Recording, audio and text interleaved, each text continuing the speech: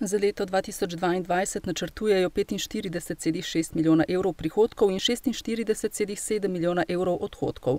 Za leto 2023 pa je tako na prihodkovni kot odhodkovni strani dobrih 41 milijonov. Lahko rečem, da je v prvem, se pravi letu 2022, predvidenih slabih 22 milijonov za investicije, v letu 2023 pa slabih 17 milijonov evrov. Tako da tudi ti dve leti bosta investicijsko kar bogati. Zlasti pri osnutku proračuna za leto 2023 gre zgolj za oceno predvidenih naložb. Veliko vprašanje na področju dinamike. Namreč določene investicije, ki so bile planirane za letošnje leto, so se zavlekle nekje proti koncu leta in bodo realizirane še leto, šele v letu 2022.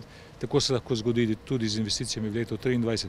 Tako da je težko povsem oceniti. Razlog za to pa so seveda predvsem razmere na trgu gradbenih storitev, kajti vemo, da je pomanjkanje gradbenih delavcev, tudi ponudbe znajo biti včasih previsoke in je potrebno potem ponavljati razpise in tako naprej. Večinoma gre za že začrtane naložbe, in sicer novogradnje Valvazorjeve knjižnice, podružnične šole v Velikem Podlogu in osnovne šole doktorja Mihajla Rostoharja, pa tudi bazena v Krškem. Si želimo pač, da se te investicije, ki so bile že nekako začrtane, tudi izvedejo in pa seveda tudi želimo si, da bi enkrat dijaški dom postal zopet nazaj dijaški dom, to je tisti pač objekt za mladinskim centrom, in da dobi spet svojo podobo, ki jo je nekoč imel. Na seji smo slišali še nekaj predlogov oziroma pripomb. Dušan Šiško je opozoril, da v osnutku proračuna ni zasledil sredstev za vzdrževanje projektov iz tako imenovanega participativnega proračuna. Krajevne skupnosti nimajo v proračunih tega, vse po vsake tuk časa kakšna napaka pojav, da je treba odstraniti.